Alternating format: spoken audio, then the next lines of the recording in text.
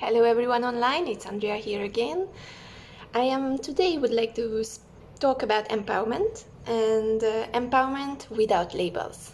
I was part of a conversation yesterday, uh, which was done by uh, very famous people actually. If you know the uh, new application Clubhouse, I was there, and uh, I was doing something that made me think about empowerment and how we can solve all these issues about making differences between the different people.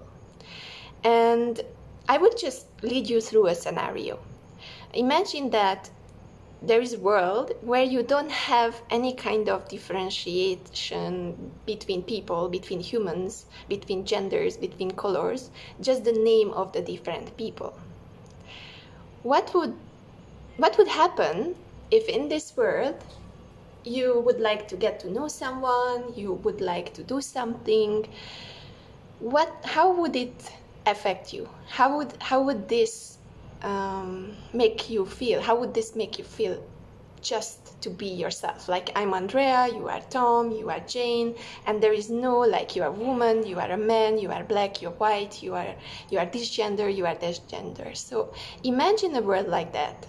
And once you have this world, then imagine how would you talk to those people? You wouldn't have any expectations, right? That means that there is only a name in front of you, a completely new person, like when you were a kid, a new kid next to you on the playground. And you just go there without judgment, without expectation, without labeling the people. And you would just exist. You would just make friends and you wouldn't place judgment on the person next to you. So, how would it feel? What if we finally just figure it out that in every single way we are different persons, we have different personalities, right? So, no matter whether you are a man, whether you are a black person, a white person, or any kind of gender, no matter, you are just a human. We are all human. That's what connects us. And please forget about the label in front of that. Forget about making people to feel different just because they have a different background. Every person has similar things in themselves, they have their own personality right? And that's the only thing that is differentiating people.